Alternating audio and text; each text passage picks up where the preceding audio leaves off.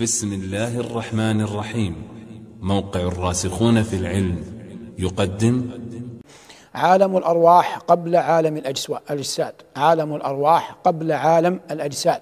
إلا في حق أبينا آدم. فإن الله جل وعلا خلق آدم أولا ثم نفخ فيه من روحه ثم أخرج من ظهر آدم كل نسمة كائنة منه إلى يوم القيامة. فهذا ما يسمى عالم الأرواح. في ذلك العالم لما خرج الناس لما خرجت الأرواح من ظهر آدم تلاقت فأصبح بينها شيء من التعارف وتعرف بعضهم على بعض. ثم لما أهبطوا إلى الدنيا ما كانت من تلك الأرواح قد التقى في السماء في عالم الأرواح يحصل بينهما الآن ألفة. وما كان قد التقى ولم يتالف في السابق لن يتالف في الدنيا.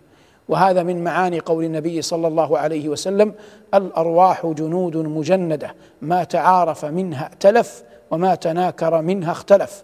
قيل إن المعنى ما تعارف منها في عالم الأرواح يأتلف في الدنيا وما لم يتعارف وتناكر في عالم الأرواح يختلف في الدنيا وهذا شيء مشاهد محسوس.